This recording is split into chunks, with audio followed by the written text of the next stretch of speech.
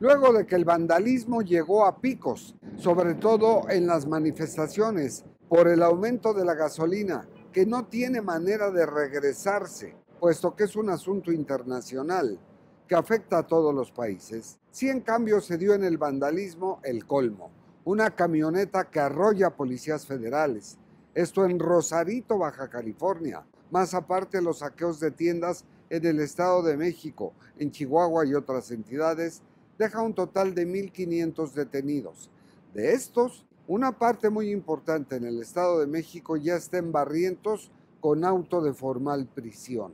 La pantalla plana, el refrigerador que se hayan llevado, les va a costar de risa en comparación de lo que tendrán que pagar con un abogado porque están por delitos de robo en pandilla, daño en propiedad ajena y lo que resulte. Y la penalidad ahí se puede ir incluso a 30 años. ¿De qué se trata? No es represión, no se cancela la libertad de expresión pacífica en la manifestación, pero se ha cancelado la libertad de tránsito.